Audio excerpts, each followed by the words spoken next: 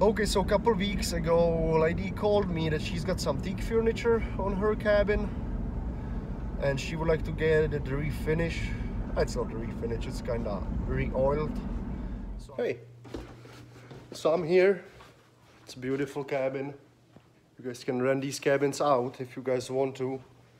I will give you name and number of it. So they got a couple of the chairs. So we will just re-oil them. Um, a couple of them here, a couple of them there. Look at that view. I'm sorry for the light. Here are the couple chairs. It's beautiful cabin. So I'm going to set my GoPro out, put it probably on time lapse. And I will let you know later, alright? I need to start looking here.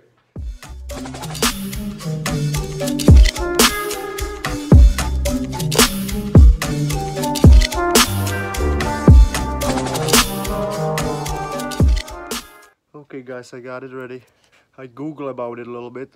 I, I will go with this. Beauregard teak oil, one step finish. It was like 10 bucks at Home Depot. I got two of them, it should be enough. If not, I will get one more. And racks. We got all chairs outside.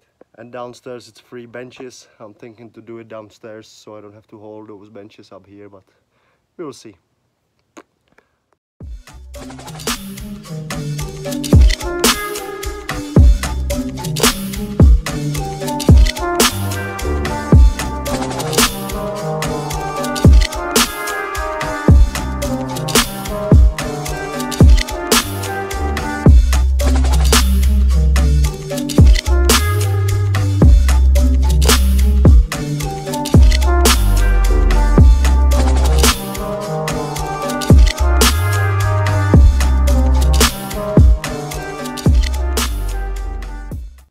Right, no problem.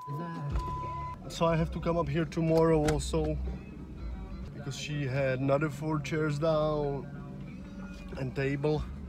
I oil that stuff, but she's got another four more benches around her fireplace she wants to get done.